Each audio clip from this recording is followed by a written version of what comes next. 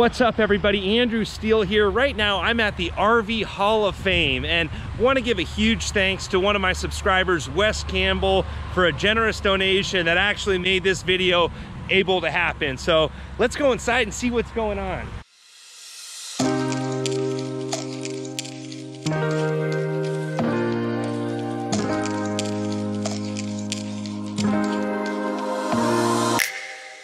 My buddy Don Willard, and he's giving me the whole lowdown here at the RV Hall of Fame.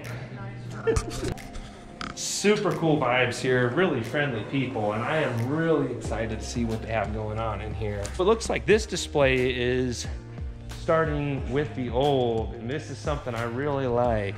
Blood of Clayton Homes.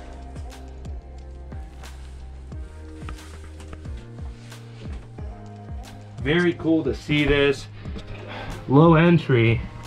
I don't think this would be very easy for my buddy Big Tony back in the day here.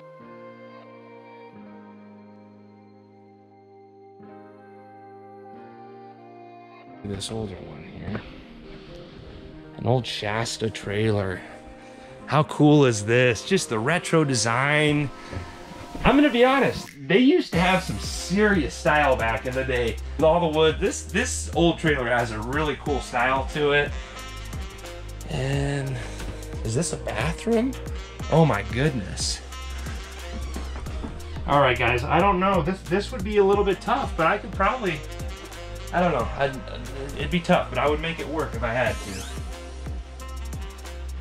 I absolutely love the exterior flow of this trailer. Just the, the whole style is so cool. The retro. All right, I see an old Winnebago.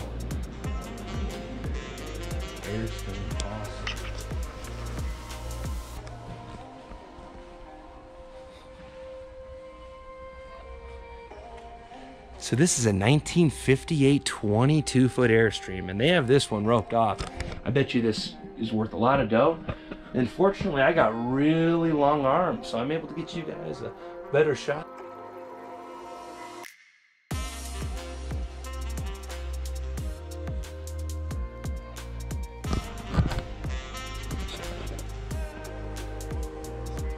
Nineteen fifty eight Airstream here a cute little design, but actually I'm surprised at how much room is in this. I'm just leaning in here. I'm not allowed in, but it's a lot of room for as small as this trailer looks. It's very well thought out for 1958. That timeless design will never get old. Let's see what's going on over here. So we're going way back now.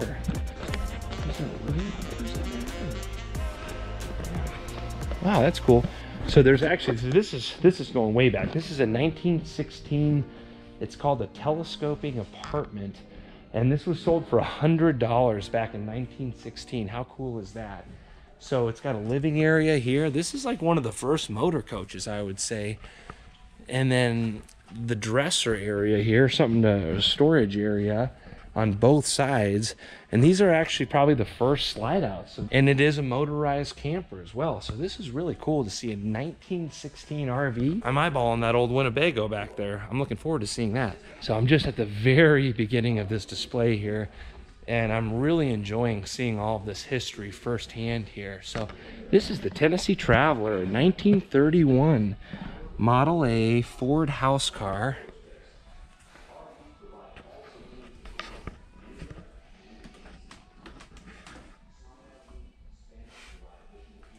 Is actually a pretty big, pretty big unit. So very cool to see. And it actually even has like kind of a house, kind of a shape to it. So they were trying to make sure people knew that this was a living quarters, it seems like. They were making RVs in Indiana even back in the 30s. This 1935 is from Putnam County, Indiana.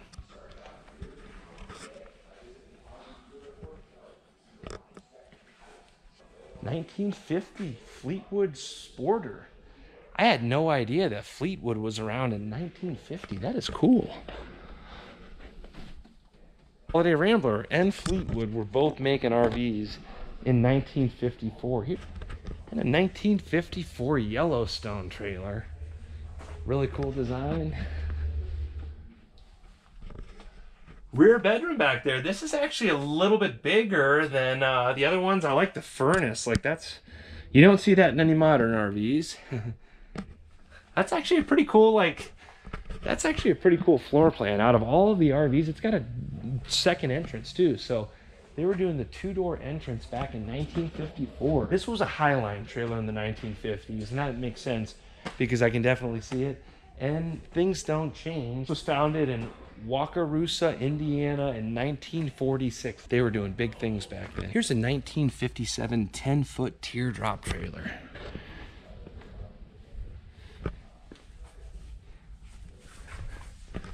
Super cool. Look at how much they get out of this. They've got storage back here, sleeping quarters. They're getting a lot out of that 12 feet there. All right, motorhomes. So the Fleetwood Bounder, a lot of you RVs got your start in RVing in a Fleetwood Bounder. This is a 1985. Let's go take a look, see how much has changed since then. Whew. Oh yeah, nice and fresh in here.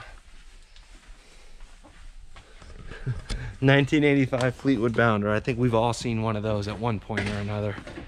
And here is a 1966 Mustang travel trailer. And this was built in Bristol, Indiana. I don't know what that is back there, but that's cool. All right, this one does it for me. What is this? A 1937 Hunt house car. This was moved in Hollywood. This was used in Hollywood movie cinematography. What? It's a little front kitchen. You got your driver's seat over there, a little closet right here, rear sleeping area, a little uh, dining area. I'm not sure what that back area is used for, but it looks really cool. How about that rear profile of this?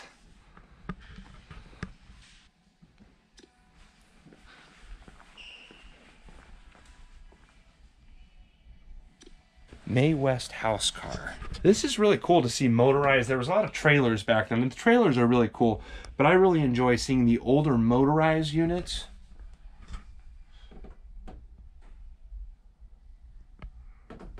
Really simple, but they were really doing cool stuff back in the day. And I've actually seen a lot of these, and I've wanted to see one of these in person uh, for a long time. This is super cool. So this is a doesn't have a display on it, but I'm going to walk in it, try to get you guys some info. This is a 1977 GMC motorhome. Wow, I can't believe how nice this is in here. This had to be restored or remodeled, something, because this is super cool. Let me get the whole down low on this for you guys. FMCA members Bob and Janet Prince didn't merely want to restore this 1977 motorhome. Once retiring after seeing much of the countryside in a 45 foot Prevost bus. They wanted elegance and quality and comfort in this 26 foot motorhome. It was estimated that over a half million dollars was spent on this tra transformation and interior, a hundred thousands towards the black exterior paint. Wow. This is super cool to see this old 1977 GMC motorhome that's just got every square inch of it is is decked out like a Prevost bus in here. So really cool to see this. Attention is getting pulled away. What is it? The West Point sticker? I see that. That's very cool. What in the world is this Star Streak?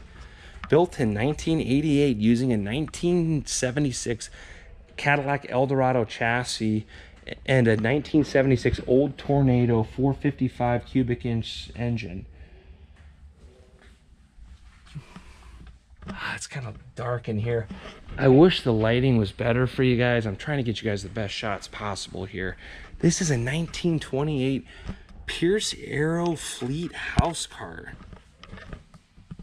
Oh, nice little John there. So this is a motor coach too.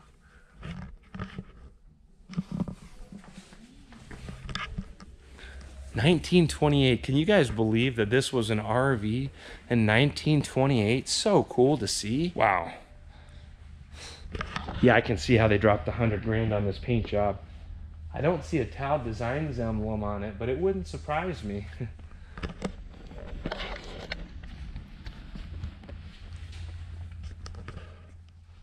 right, all right. I'm not really sure what this is.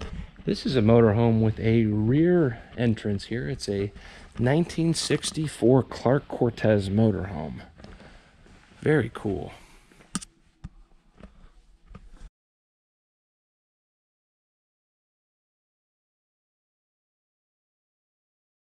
Nineteen sixty nine Pace Arrow. This was Fleetwood's first motorhome.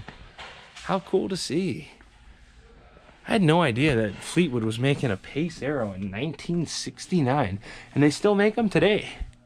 A little bit different than the uh, the new 2020 Pace Arrows, but this is actually cool. Like in 1969, you've got a good size, good size living area back here, one of those small bathrooms. This is it, Fleetwood's first motorhome. You guys just saw it.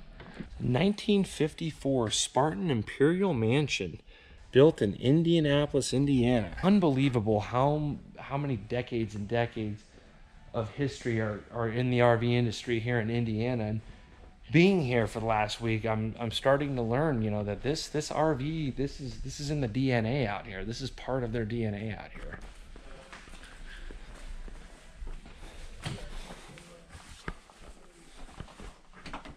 All right, so this is like the this is like the tall cotton, the mobile mansion. Look at how like cool. They've got like heavy duty furniture up here.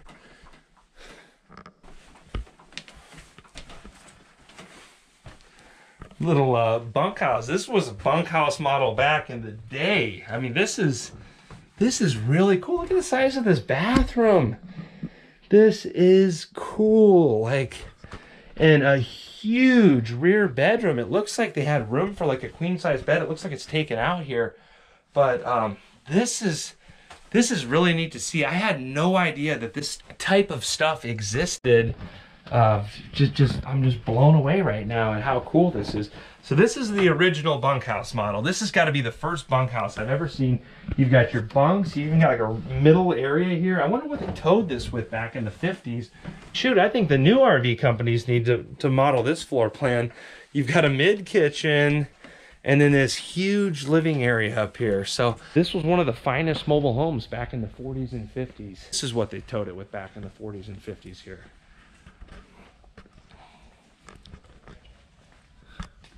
A Studebaker, I love it.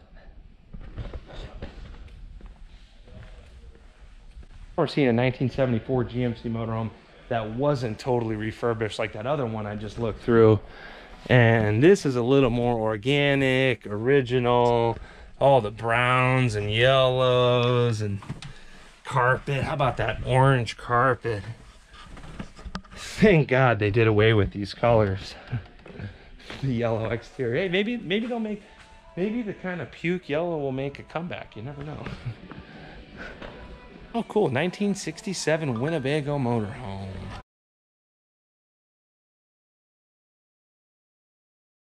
Cool. Did you see the organic style of these? I'm I'm just really enjoying this.